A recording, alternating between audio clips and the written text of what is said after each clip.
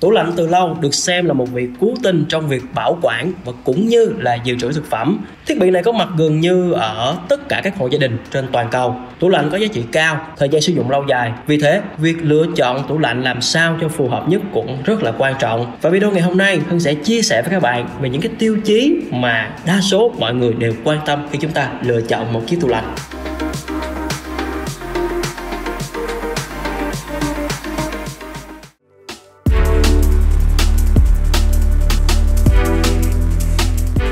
Đầu tiên, phải nói đến là kiểu dáng. Cái này thì phụ thuộc vào thói quen sử dụng. Không gian nhà mà mỗi người sẽ có sự lựa chọn riêng cho mình. Thị trường hiện nay có khá là nhiều mẫu tủ lạnh như là tủ lạnh mini nè, tủ lạnh side by side, hai cửa hay là nhiều cửa.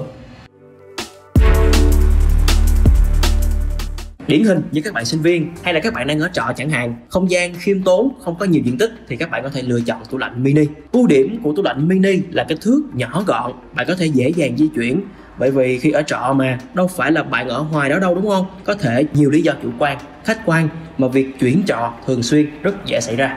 Ưu điểm thứ hai là giá thành. Dưới 3,5 triệu thôi là bạn có trong tay một chiếc tủ lạnh mini rồi phù hợp với hầu bao của những bạn có thu nhập thấp.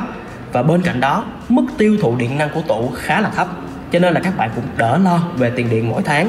Tuy nhiên, nhược điểm lớn nhất của tủ mini chính là nó không có khả năng chống đông tuyết. Vì thế các bạn phải tốn thời gian để xả đông trong lúc chúng ta sử dụng. Và đúng như cái tên gọi mini của nó, tủ nhỏ cho nên là để được ít thực phẩm hơn. Mình nghĩ là sử dụng cho cá nhân thì ok hay là các nhà nghỉ, khách sạn nè. Với lại tủ mini á nó chỉ có một cửa thôi cho nên là dễ xảy ra tình trạng xung đột mùi giữa các đồ ăn trong tủ là việc không thể tránh khỏi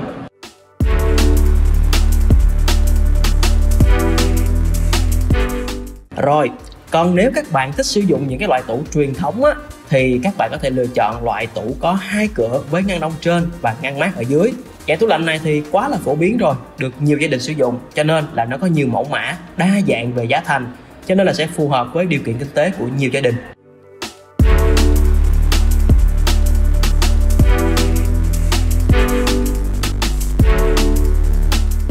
Tiếp theo, dành cho những bạn nào chúng ta thích kiểu thiết kế hiện đại, thiết kế mới cũng là hai cửa nhưng ngăn mát ở trên và ngăn đá thì nằm phía dưới.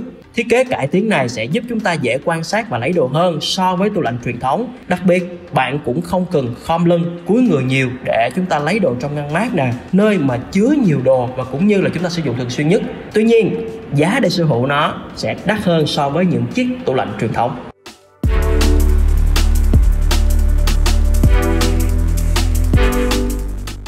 Các bạn thấy không gian nhà đủ rộng và dư dả về mặt tài chính á, thì các bạn có thể lựa chọn những dòng tủ lạnh side by side hay là tủ lạnh nhiều cửa. Và dĩ nhiên giá thành của nó cũng rất là đắt đỏ rất là nhiều so với tủ lạnh mà chúng ta vừa kể trên. Như vậy tủ lạnh side by side với kích thước rộng sẽ giúp bạn lưu trữ được nhiều loại thực phẩm có thiết kế hiện đại, cao cấp nè. Cùng với đó là những công nghệ tiên tiến như là lấy nước, lấy đá viên bên ngoài, hay là điều chỉnh được nhiệt độ bên trong tủ, vân vân, và vân vân. Và đi kèm đó là mức tiêu thụ điện năng của tủ sẽ cao hơn. Về mặt kiểu dáng thiết kế là như vậy, nhưng mà khi lựa chọn tủ lạnh á, cái điều quan trọng nhất không thể bỏ qua, đó là tủ lạnh nó có tính năng gì?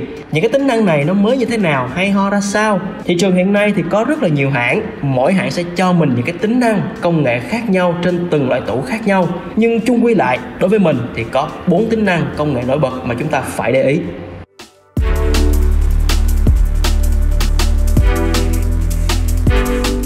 Đầu tiên là tủ lạnh có ngăn cấp đông mềm hay không?